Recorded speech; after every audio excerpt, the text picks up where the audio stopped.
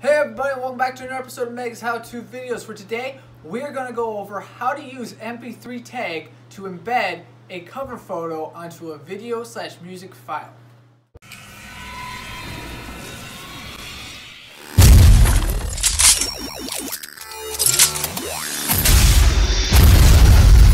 To begin, open MP3 Tag. If you do not have this software downloaded yet, you can find the URL to the download site in the description below.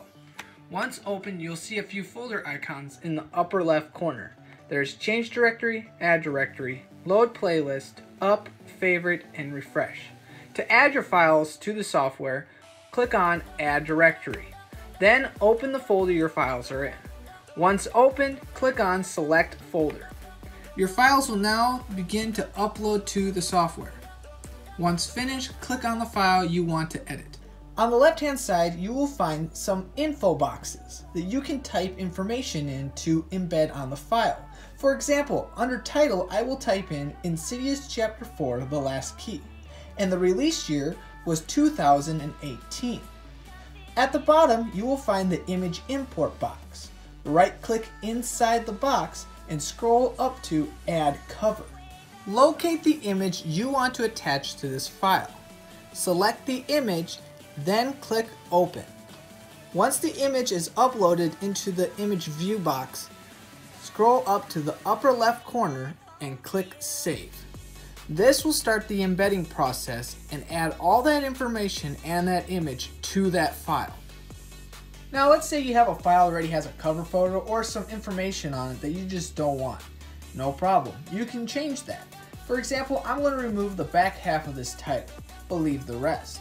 Under artist, I'm going to type DJ Marshmello, and under album, Monstercat. The release year 2016, and the cool thing with genre, it has a list that you can already choose from, but if you want, you can type in your own stuff.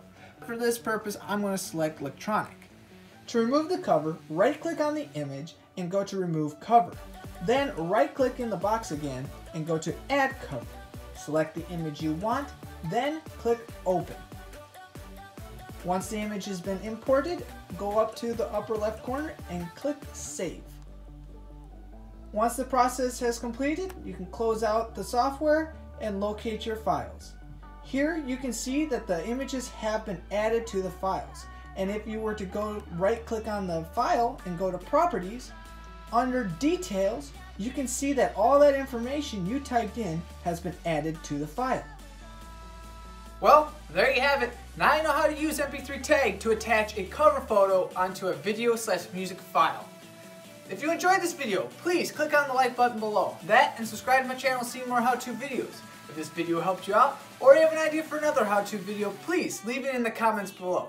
But until next time, God bless and good luck.